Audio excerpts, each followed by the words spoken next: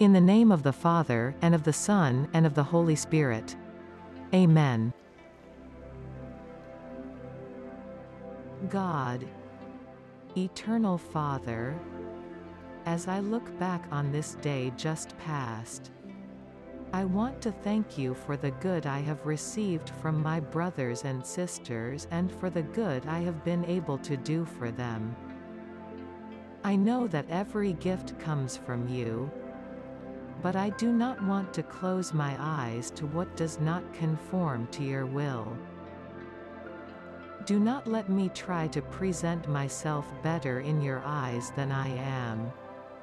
Such an attitude would be meaningless before you. For, not even the darkness is dark to you, and the night is as clear as the day.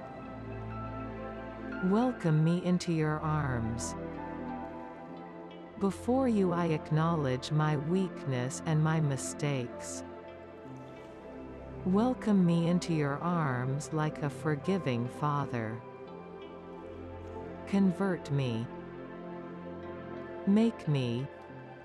Becoming aware of my sinful stubbornness. All the more firmly attached to you. Amen.